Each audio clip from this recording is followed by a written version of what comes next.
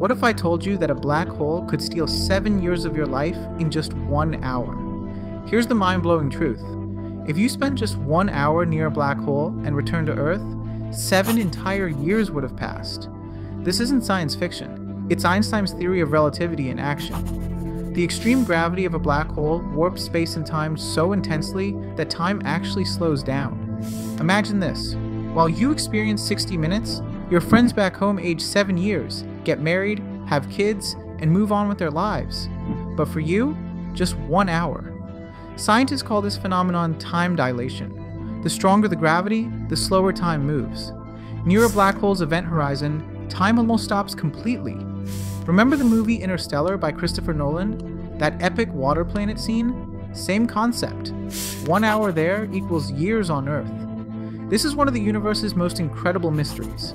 Gravity has the power to control time itself. If you found this fascinating, hit that like button, share this with your friends who love space facts, and subscribe for more mind blowing content.